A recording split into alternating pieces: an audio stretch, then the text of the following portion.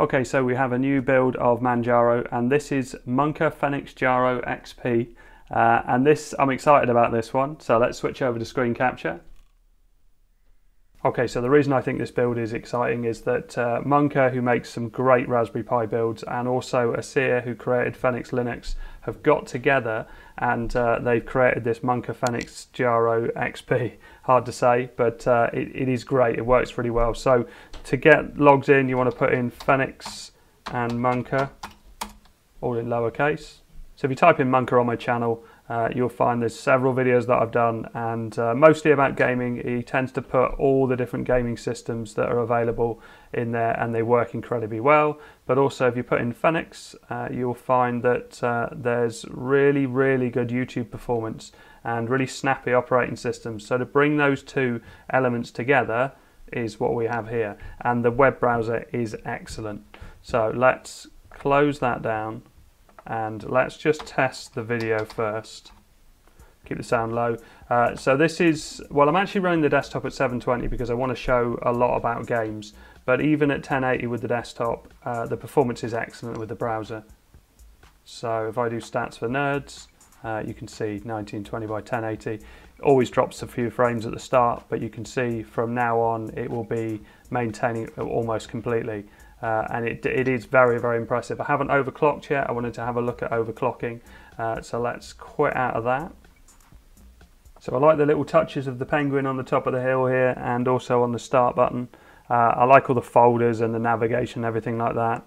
Uh, so if I go down to the start bar and we go to accessories, you can see we've got ClamTK, which is a scan for threats. We've got, uh, I think that's GNOME disks, uh, which is a way of backing up your SD card. So there's various different options in here to uh, create disk images and so on. Open Android screen mirroring system, Raspberry Pi Imager, which is my favorite method of writing images on a Raspberry Pi, uh, view images, password, uh, text editor, screenshot option, and also an unzipper. So we've got Amiga emulator with Amiberry, which I've been using recently in Pimiga, which has been brilliant. Uh, the Dolphin emulator, which works really well on this. Uh, we've got DOSBox for Windows games. We've got a games option which you can add and have a collection where they're all together. Game Boy Advance, PlayStation Portable, ReDream, RetroArch, which is all fully installed, SNES emulator, Nintendo Game Boy Advance, and Wine configuration and Wine desktop. So this is your, your Windows side of it. Under Internet, there's some interesting things here. So Chromium Docker is a way of using Netflix and Spotify uh, in the browser on this 64-bit operating system. Obviously, there's a different way of doing it with Raspberry Pi OS. Uh, they use a virtual machine to do this, uh, which allows you, well, you can see here, Netflix, Amazon, and Spotify are supported within that. Uh, and if I launch it, you'll see that it does it a bit differently. I've covered this separately. So we know the password is Fenix Monka. And then this launches this browser in a virtual machine and then allows you to use those DRM services on the Pi. So let's close that one down. We don't need that now. But you can see here as well, Discord is supported, Firefox and Chromium are on there. Uh, I find that Chromium seems to be the best one of all of them I've tried on this. Uh, so we've got a BitTorrent client there. Connect to remote desktops, Telegram desktop, Tor web browser. Uh, it did say in some of the README files that I did read that the Tor web browser doesn't work as fast. Looks like this is working in a virtual machine as well. So that would be why Chromium would work faster. Well, it looks like it's trying to install something or set something up. So obviously people use this as a very secure web browser. It's not something I use, but uh, it's nice to have that option. So it looks like it's just installed it, but I think I probably need to click on it again because it doesn't seem to be booting on its own. So let's try that, Tor browser. Yeah, so here, look, so we've got configure and uh, how we want to do that, and also connect option as well. But I'm not going to do that so it's not something I really cover. And also YouTube Buddy, uh, and this is quite a cool program. Uh, so you can do a search. Uh, so we just do a search for Leaf PSP video. I wonder what it will come up with first. So it comes up with RetroPie at the top. So let's click on that and let's hit play. And it launches VLC and plays within VLC, which is a, a different way of doing it, but it's nice to see. So under Office, we've got AbiWord and Atril Document Viewer uh, some programming options there. Sound and video, quite a few bits on there. There was something about audio. So it says change the pulse audio equalizer preset to hear clearer sound. and system tools, all your usual stuff. So this is your application, so this is how you install things onto it. And there's also an updater, although it didn't seem to work for me before, uh, but also things like NeoFetch is in there, uh, gparted is in there.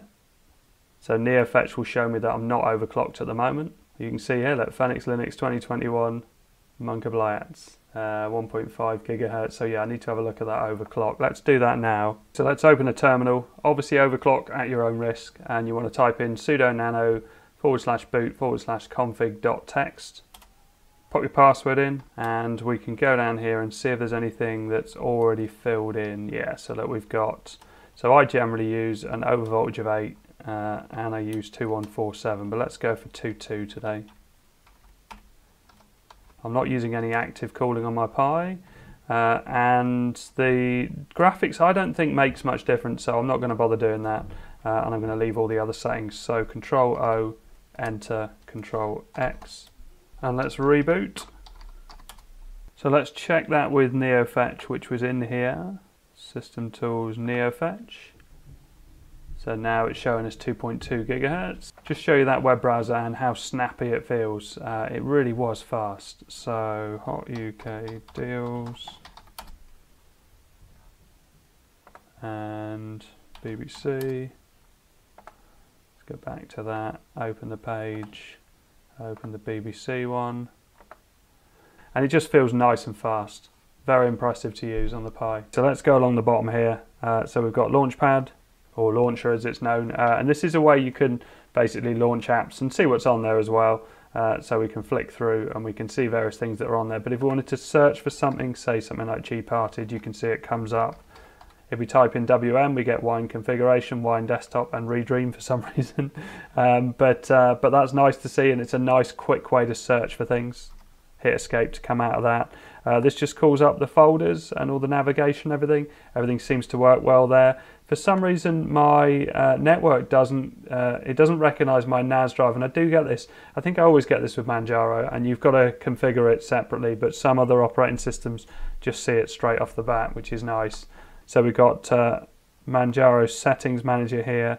You can see Chromium Firefox terminal uh, pulse audio equalizer Bluetooth settings and also iconify all windows. So let's have a look at some games. Um, I've actually uh, lowered the overclock setting because Wine wouldn't launch. So if I go into, what was it, System Tools and NeoFetch, it will actually show us 2 gigahertz now and uh, an overvoltage of 6 I'm using.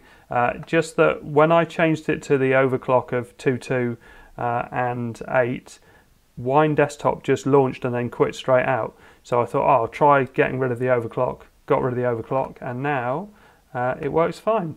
Uh, I don't know why. Very, very strange. So I've got Virtua Tennis in here. Uh, so if I double click in that folder, uh, this is a Windows program, an old Windows program. So if I look for the exe file, there's a configuration one here. And uh, I'll do it with keyboard. I did try and set it up with my controller, but couldn't get it to work. Uh, so video setup, so it's on the lowest resolution, low detail, effects off, 16-bit and best performance. That's the uh, settings that I saved before, so run Virtua Tennis. And hopefully this overclock will make it a bit faster. All the menus seem nice and fast. I'm only using cursors and keyboard at the moment, which isn't ideal. It still looks like it's going to be a bit slow. Oh, that was a bit of a lob. Oh, nice.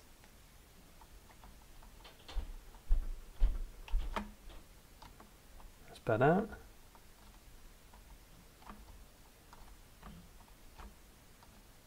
I do like this game. Um, played, it does work better on other systems, but uh, it's still playable.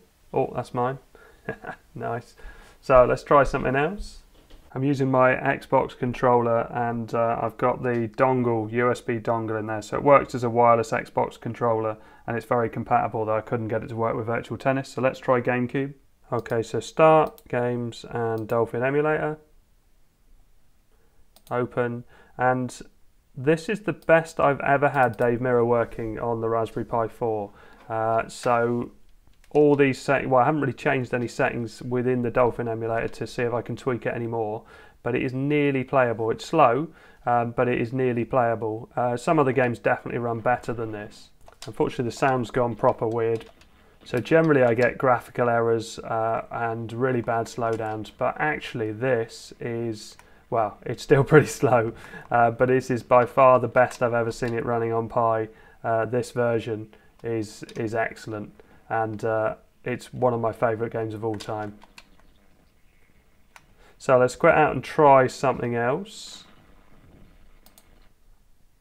Actually, let's just try and get the audio working because it there is a thing in the README about changing the pulse audio settings because you can hear the sound is really weird at the moment. So let's just click on that pulse audio and it just said to change a setting. Let's try a different game just to show that it does run GameCube pretty well. So something like Hulk, which runs nicely. Oh, the sound's come back now. Oh, maybe it just doesn't like that game.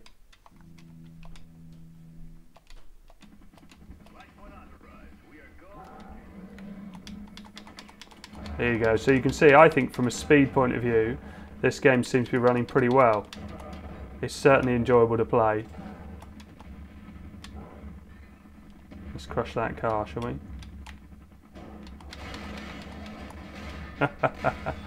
anyway, let's quit out that and try something else. PSP.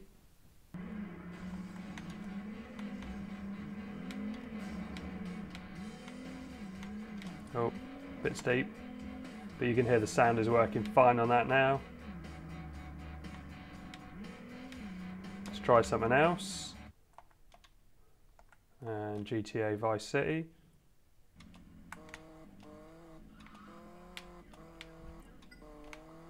Yeah, seems to be coping fine. Whoa.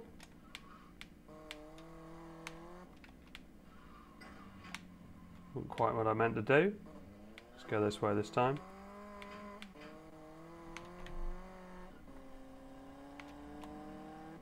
Yeah, that's pretty good actually. Now this has got Vulkan in it. It might be worth having a look. Uh, so, back end. Yeah, see, last time I tried Vulkan it wasn't better. Um, so let's see what happens.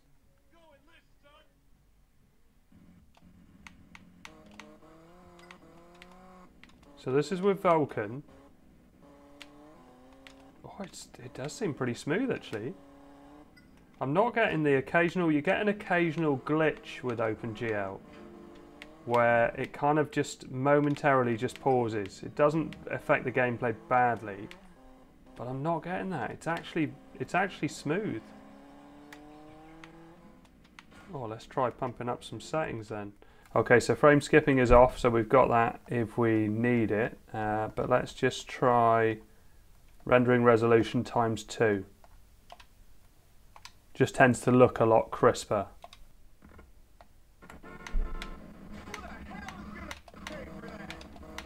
Okay, so you see it looks a lot better, but it's it's uh, it's struggling with that.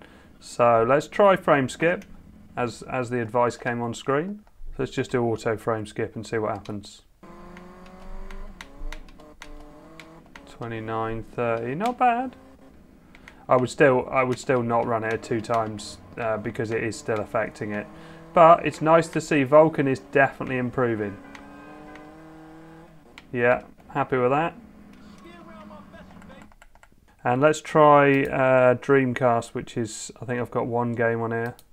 Okay, let's have a look. Add a directory, and it's desktop.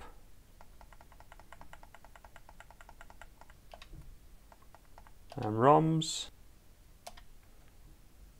There you go, Sega GT. Oh, yeah, feels alright. See if we can put FPS on.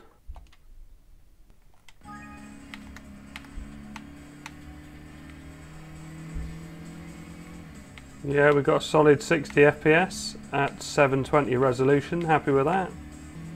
And this is on drift. Let's see if we do drift. Not yet. Oh, maybe I shouldn't have picked drift mode. There you go. So that seems to be working alright anyway.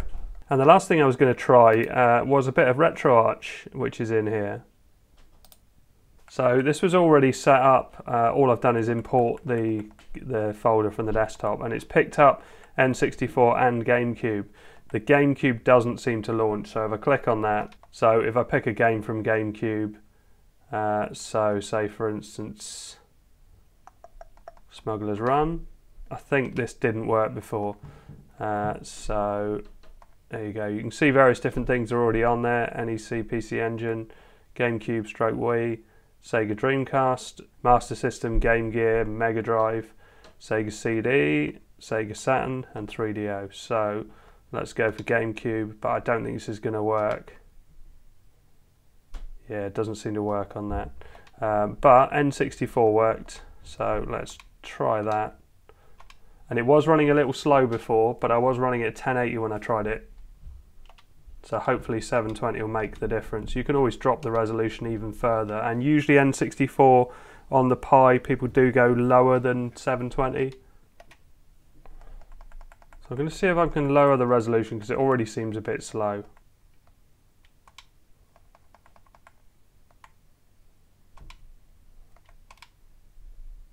I'd say not bad speed, but not great. Okay, so I've restarted because uh, the 320 hadn't taken effect and my B button is X for some reason, uh, but I'm sure that won't affect it.